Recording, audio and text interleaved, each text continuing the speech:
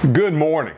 Thank you for joining me, Pastor Zach Williams of Flat Creek Baptist Church here in Gainesville, Georgia, for another edition of New Horizons, the daily podcast and radio ministry of Flat Creek Baptist Church. It is always my greatest joy to be able to dive deep into God's Word with you, and I pray that these daily podcasts are a blessing to you and your family and your walk with the Lord Jesus Christ. Now, today we're going to continue walking through the book of Acts. And we're going to do something that we haven't done since we've started this uh, journey together. I'm going to kind of um, kind of jump forward a little bit. It's not that what we see at the end of chapter 19 isn't important. I just feel like we can touch on it as we move along.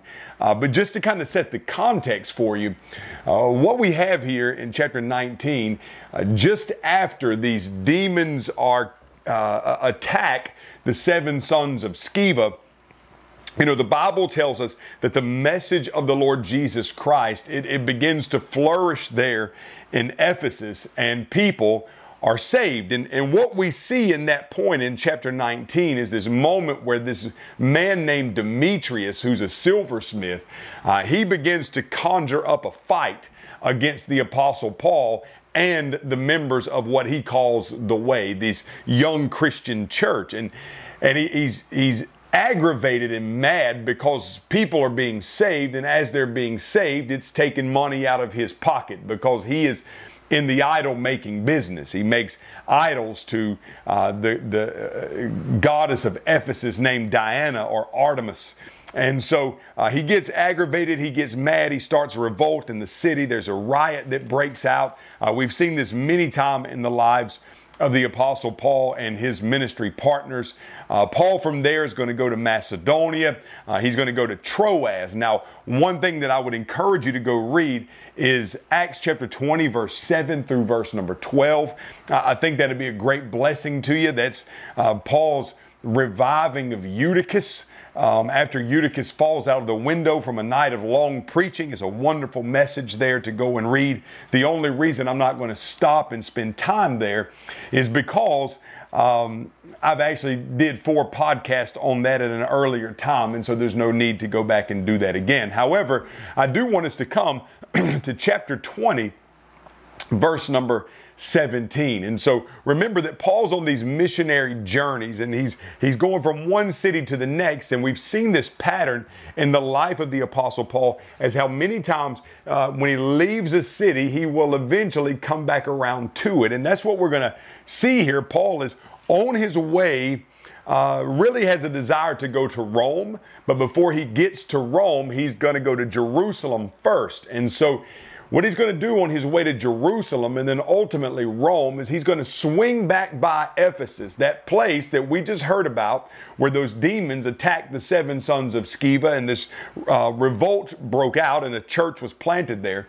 Uh, Paul spent three years there. He leaves and now he's going to journey back to Ephesus on his way to Jerusalem, on his way ultimately to Rome. And he wants to swing back by and see those people that he loves, those people that uh, he cherishes with all of his heart.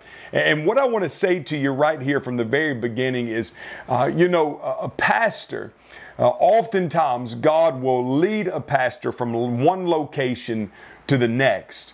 And I want you to know, just as a pastor who is now pastoring his third church, it's never easy to leave the people that you love. You know, every single place that I've been, there are relationships, friendships that will last a lifetime. And every time God has ever called me and my family away from a location, uh, it hurts us because we don't want to leave those people behind. And it's always a joy to be invited back. You know, any pastor that's listening to me right now, you know the joy uh, of, of being asked to come preach a homecoming or something like that because you love the people so much and just to go back to see their face and know they're doing well.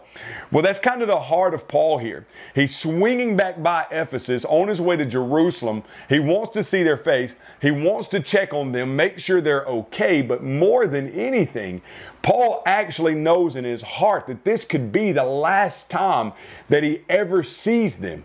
And so he wants to give them a few words to remember as he is leaving. And so I, I want us to take uh, just four sessions of these podcasts and just go through these, uh, these, these few lessons of the Apostle Paul. I want you to listen to what he says.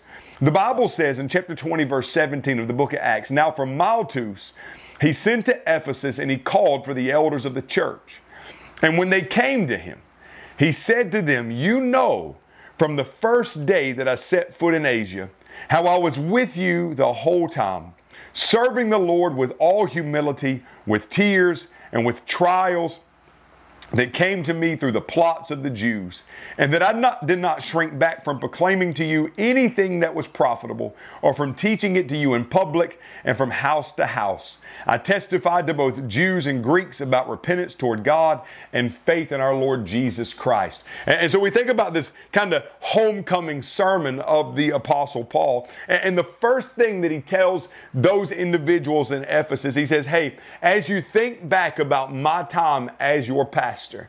Uh, one thing that I want you to always do when you're considering my love for you is I want you to remember the past. I want you to remember the good times we had together. I want you to remember those days where we saw the Spirit of God at work. I want you to remember those days where we saw individuals coming to a saving relationship with the Lord Jesus Christ. I want you to remember those times when we went down to the riverside and we celebrated a baptism. I want you to remember those times that we broke bread together and shared in the Lord's Supper. I want you to remember those times when we opened up the Bible and we dug deep into God's Word together and we searched the Scriptures to see how Jesus is the Messiah that was prophesied from the very beginning of time. I want you to remember not just the good times, but I want you to remember the bad times. I want you to remember the times that, that you know, Demetrius did rise up against us and how God strengthened us. I want you to remember those times when we were persecuted for the faith, but God gave us the power and gave us the endurance to make it through each and every day because of the things that were coming against us. I want you to remember uh, all the things that we went through together. You see, I'm going to Jerusalem I'm going to Rome. God's got a message and a plan for me. He's got a calling on my life. And this may be the last time we're ever together. And after today, there's going to be things that are said about me. People are going to people are going to come by and they're going to tell you, don't believe what the apostle Paul says. They're going to do all this stuff, but you know me. You know me because we were together. So when the enemy attacks, when people are coming against you, when people are saying that, you know, oh, Paul, he did this or that, just remember the love that I have for you. Remember what we went through together. And, and if you remember what we went through together, then you will stay firm in the faith. And friends, I want you to know today for a church, it's good to remember the past. Now, when I say remember the past, I'm not saying we get stuck in the past, but what I'm telling you today is it's good to remember the past. It's good to remember the good times that you had together. It's good to remember how the Spirit worked. It's good. It's good to remember the bad times and how you walked through some stuff together. Because when you remember the past, you can look at the guy, the lady next to you, and you can remember that's not my enemy. No, we have journeyed together in the faith. We've walked together in the faith, and we're going to walk forward into the future in faith, knowing that God has a plan in place for us. And so, if I could encourage any pastor or any church today, I would encourage you to just remember the past. You know, it's a good thing. It's a good thing to remember where you came from and to see where God has brought you and to rejoice over the journey. Uh, may God bless you today as you journey with Him. And if I can ever come alongside of you in your walk with the Lord Jesus Christ, uh, just visit our website, flatcreekchurch.net, and you can contact me there. May God bless you, and I'll see you next time on New Horizons.